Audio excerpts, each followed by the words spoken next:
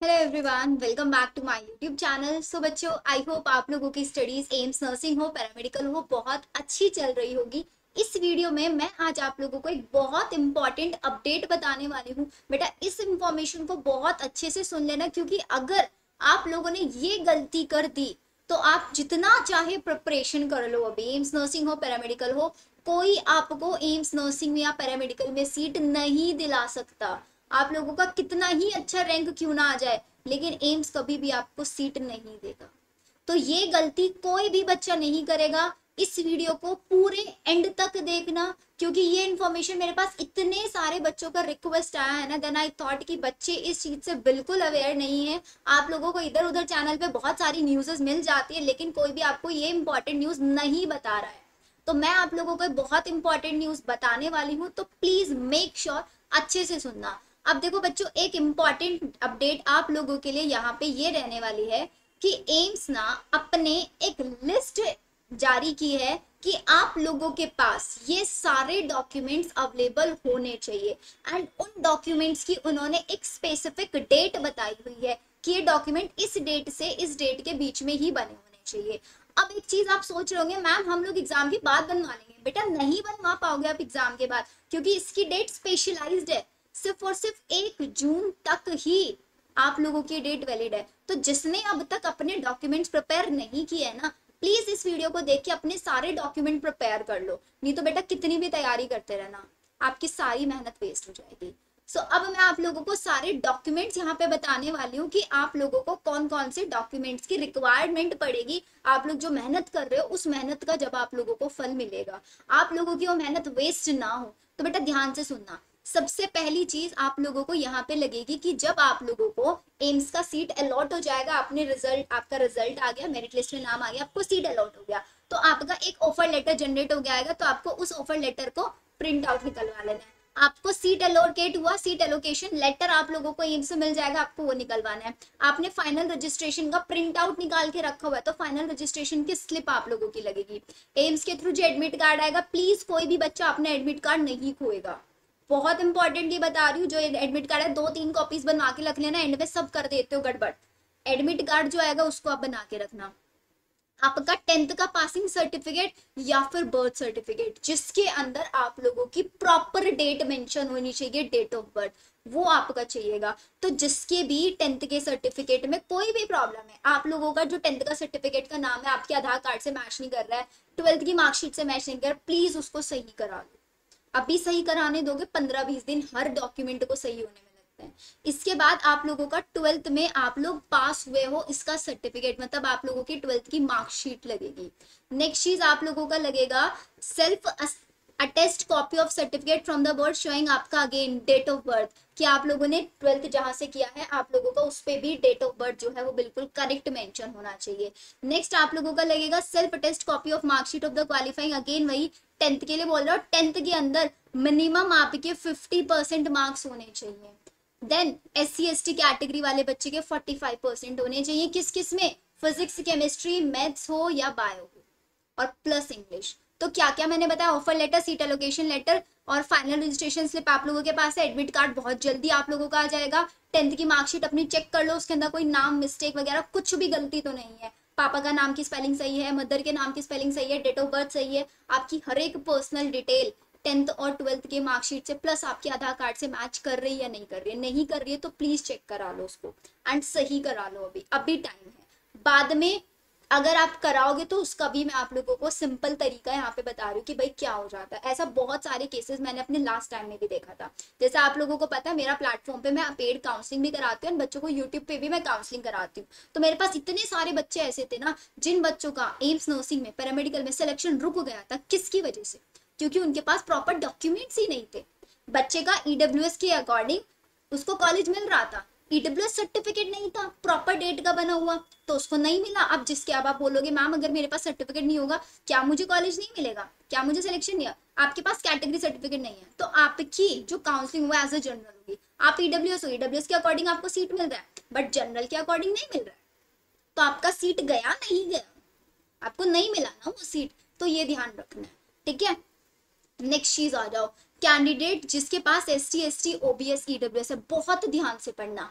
ये बहुत ज़्यादा इंपॉर्टेंट है। पूरा प्रोफॉर्मा सारी चीज़ें मैं आप लोगों को यहाँ पे बताऊँगी कि कैसा आप लोगों का सर्टिफिकेट दिखना चाहिए। आपका जो सर्टिफिकेट है डायरेक्ट लिखवा हिंदी हो इंग्लिश हो मैटर नहीं करता। लेकिन ये क्या बोलता है कि जो आपका सर्टिफिकेट है, वो सेंट्रल गवर्नमेंट के थ्रू अप्रूव होना चाहिए। स्टेट वाला नहीं चलेगा सेंट्रल गवर्नमेंट के थ्रू अप्रूव वाला चलेगा। ये ध्यान रखना है। एंड जिसने अपना कैटेगरी सर्टिफिकेट नहीं दिया उस बच्चे की जो डायरेक्टली लिखा हुआ है इन्होंने कि आप लोगों की जो काउंसलिंग होगी, वो एज अ जनरल होगी। ये मैं थोड़ा सा अपनी वीडियो इधर शिफ्ट करके आप लोगों को दिखा रही हूँ। ये देखो। लिख रहा है, नहीं दिख रहा है? आप लोगों का जो फर्दर राउंड हो गए यू आर कैटेगरी के अकॉर्डिंग होंगे तो आप लोगों को आपकी ओबीसी एस सी एस इन कैटेगरी का बेनिफिट्स नहीं मिल पाएगा। इसलिए ध्यान रखनी है ये वाली चीज़। क्लियर हो गया? अब जरा हम लोग आ जाते हैं कि आप लोगों का जो डेट्स है, वो क्या क्या होना चाहिए। आ जाओ। नेक्स्ट सबसे पहले हमारे पास जो ओबीसी अब यहाँ पे एग्ज़ाम डेट पे इग्नोर करना, क्योंकि मैंने आपका एम्स के जो ओरिजिनल प्रोस्पेक्टस है, वहाँ से उठाया, वहाँ पे डेट अपडेट नहीं हुई है। बीएससी नर्सिंग का एग्ज़ाम आठ और नौ जून दोनों में है। और पैरामेडिकल का जो एग्ज़ाम है, वो सिक्स ऑफ़ जुलाई में डेट का भी कंफ्यूजन हटा लो तो अगर आप एक ओबीसी कैंडिडेट है तो आपका जो डेट है आपका जो सर्टिफिकेट है वो कब से कब तक बना होना चाहिए? 9 जून 2023 से लेके 8 जून 2024 के बीच की डेट का बना होना चाहिए। आपने दो साल पहले बनाया हुआ तो वो नहीं चलेगा। अभी टाइम है, आज अप्लाई कर दो इसके लिए। तो आज अप्लाई करोगे तो आज की ही डेट मेंशन होगी। और ये दोनों डेट इंक्लूड है। आप 9 जून में 8 जून में भी बनना दे सकते हैं, लेकिन अगेन आएगा नहीं आएगा। बनना जा पाएगा, नहीं जा पाएगा। तो मैं बोलती हूँ रिस्क मत लो, अभी भी दस दिन है, आप लोगों के पास अपना ओबीसी का सर्टिफिकेट बनना दे दो। पैरामेडिकल वाले बच्चों के लिए डेट सुन लो। तेईस जुलाई से लेके बाईस सॉरी तेईस जून से लेके बाईस जून के बीच का बना होना चाहिए। तेईस जून 2023 अभी भी आप लोगों के पास टाइम है पैरामेडिकल वाले बच्चों के लिए। तो प्लीज़ इसको अपडेट करा लो ये सिर्फ़ ओबीसी के लिए है। ओबीसी हो ईडब्ल्यू e हो, इन दोनों कैटेगरी के लिए स्पेशल डेट रिक्वायर्ड है। जबकि एस सी एस टी के लिए नहीं है। सिर्फ़ उन्होंने बोला है कि कैटेगरी सर्टिफिकेट होना चाहिए सेंट्रल के थ्रू प्रूव होना चाहिए। ये बोलते हैं ठीक है? अब ईडब्ल्यू e के लिए देख लो। बीएससी नर्सिंग में ईडब्ल्यू e का एक अप्रैल से लेके आठ जून 2024 के बीच का ही बना होना चाहिए। पैरामेडिकल का जो है, एक अप्रैल से लेके 22 जून के बीच का बना होना चाहिए। अगर इस डेट का आपका सर्टिफिकेट है तो आपको आपका कैटेगरी का बेनिफिट मिलेगा अनलेस आपको आपका कैटेगरी बेनिफिट नहीं मिलेगा। क्लियर तो प्लीज़ मेरा रिक्वेस्ट है आप लोगों से ये गलती बिल्कुल मत करना, नहीं तो आप लोगों की सारी मेहनत वेस्ट हो जाएगी। अब मैं आप लोगों को इनका परफॉर्मा दिखा देती हूँ कि आप लोगों को जो ये सर्टिफिकेट है, ये दिखने कैसे चाहिए। एक सेकेंड रुकना। एम्स की ऑफिशियल वेबसाइट ने ही आप लोगों को ये बना के दिया हुआ है प्रोफॉर्मा मैं वही आप लोगों को दिखाऊँगी इधर। जस्ट वेट अ सेकेंड आ जाओ देखो। ये रहा। ये आपका डिसेबिलिटी का है भाई। डिसेबिलिटी के लिए भी ना ये प्रॉपर एक लिस्ट बना के देंगे कि भाई इस लिस्ट तक इन in college in in hospitals के अंदर आप लोगों का डिसेबिलिटी अभी डिसेबिलिटी के लिए कोई सर्टिफिकेट, कोई डेट वगैरह कुछ नहीं है। उसकी टेंशन मत लेना। जितने पीडब्ल्यू कैंडिडेट वाले बच्चे अब यहाँ पे ध्यान रखना, देखो। देखो, मैंने जूम किया है, आप लोगों को क्लियरली दिख रहा है क्या?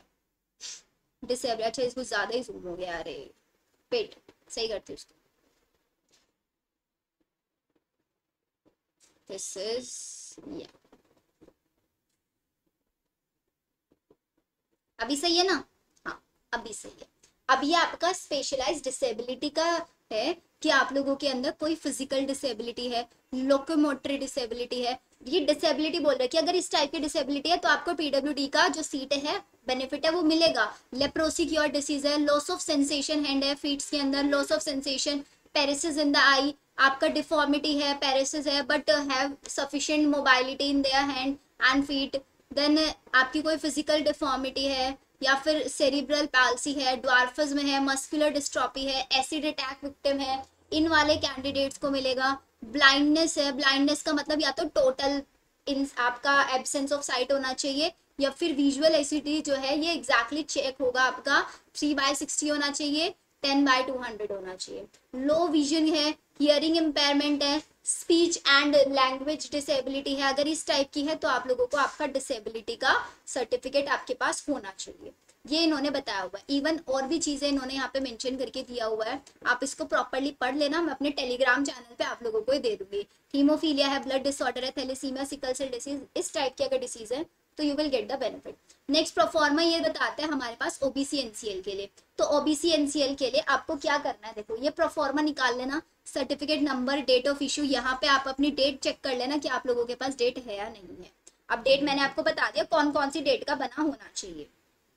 आपका this is to certified that कि आपका नाम आएगा यहाँ पे, आपके फादर का नाम आएगा, कहाँ से रहने वाले हो, ये आएगा आपकी स्टेट कहाँ से बिलोंग करते हो, कौन सी कम्युनिटी ओबीसी एनसीएल जिससे बिलोंग करते हो, ये सब आपका बन के आपको क्या करना है? देखो सिंपली अपने लोकल किसी तहसील में या इसी जगह पे जाना है और आपको बोलना है, मुझे सेंट्रल गवर्नमेंट के थ्रू अपना सर्टिफिकेट बनवाना है, बन जाएगा। अपने घरों में बड़ों की हेल्प लेना, खुद से मत करना। अपने पापा होंगे, बड़े भैया होंगे, बड़े दीदी होंगे, उनको बोलना कि मुझे इस कैटेगरी का सर्टिफिकेट बनाना है। उनको सारी इन्फॉर्मेशन रहती है। ये ओबीसी वाला है।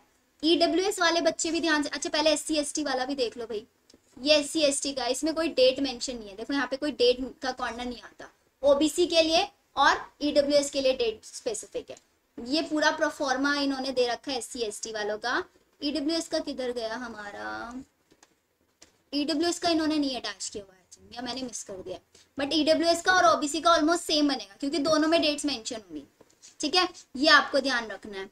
एंड एक और इम्पोर्टेंट हाँ ये वाला देखो बेटा, ये। जो ईडब्ल्यू वाले बच्चे हैं ना, उनके लिए सारे नोट्स क्लियर लिखे होने चाहिए। कि आपका जो इनकम है उसमें इनकम में आपका, आपकी प्रॉपर्टी कितने नाम है आपके नाम में ऑब्वियसली आपके फादर जो कि मेन पर्सन है, कितनी उनकी सैलरी है agriculture less than eight LP अगर उनका है तो ईडब्ल्यूएस बनेगा। ये सारी डिटेल्स आप लोग जहाँ से भी बनवाएँगे, वो खुद कर लेते ठीक है? आप लोगों को इसकी टेंशन नहीं लेना है। सिर्फ़ मैंने बता दिया सेंट्रल गवर्नमेंट का आपका बना होना चाहिए। प्रॉपर डेट मैंने आप लोगों को बता दिया प्रोफॉर्मा दिखा दिया, ये जाके दिखा देना जहाँ बनवाओगे वहाँ पे कि मेरे को इस कैटेगरी का चाहिए, वो खुद बना के दे देंगे। प्लीज़ मैं आपको बोलती हूँ कि ये वाली मिस्टेक कोई भी मत करना कि आप लोगों के पास काउंसलिंग के टाइम पे डॉक्यूमेंट्स ना हो।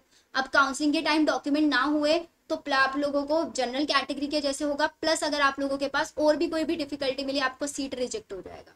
या फिर आप लोगों को पेनल्टी देना पड़ता है। बिकॉज़ वहाँ पे क्या होता है ना, जैसे आप लोगों को राउंड वन में सीट अलॉट हो गया तो सीट अलॉट होने के बाद वो एक या दो दिन का टाइम देते हैं आपको। सारे डॉक्यूमेंट्स कलेक्ट कर लो फटाफट फटाफट। और जो भी आपको एम्स मिला, उस एम्स में आपको रिपोर्ट करना पड़ता है। अगर आप रिपोर्टिंग के टाइम पे अपने डॉक्यूमेंट्स नहीं दे पाए तो आपको वहाँ पे वन लैख का सिक्योरिटी फ़ीस डिपॉजिट कराना पड़ता है कि मैं यहाँ पे सारे document within the time period submit करा दूँगा। तो आपको सिक्योरिटी फ़ीस देना पड़ेगा वन लैख का। ये ध्यान रखना। राइट और वो वन लैख का वो भी आपका डी वगैरह ये सब बनवाता है। सारी इन्फॉर्मेशन काउंसलिंग के टाइम पे बता दूँगी। अभी जो चीज़ रिक्वायर्ड है, उस पर ध्यान दे लो बस।